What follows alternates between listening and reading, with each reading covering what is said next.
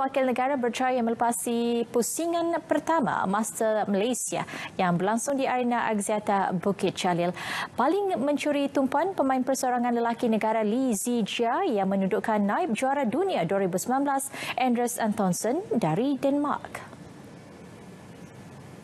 Laluan Zijia tidak mudah apabila dipaksa bermain dengan tiga set untuk mengesahkan kemenangannya. Tewas pada set pertama dengan keputusan 4-21, Zijia berjaya bangkit dua set berikutnya dengan 21-15, 21-8 untuk menutup keseluruhan perlawanan dengan satu jam 6 minit.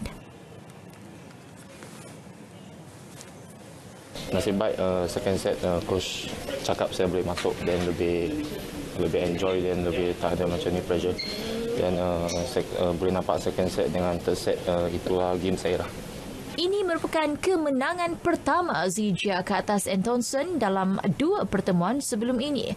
Pemain ranking ke-14 dunia itu akan berhadapan dengan Samir Verma dari India bagi perebutan tempat ke suku akhir. Sementara itu, bergu campuran negara Go Sun Huat, Shevan Lai Jamie turut marah kepusingan kedua selepas mendudukkan pasangan China He Jiting eh, Du Yu 21-12, 21-19. Yeah, after uh, last year we lose to them in Hong Kong Open, so we come back then we analyze their game quite quite well also. So today uh, we can see that we, we do very well.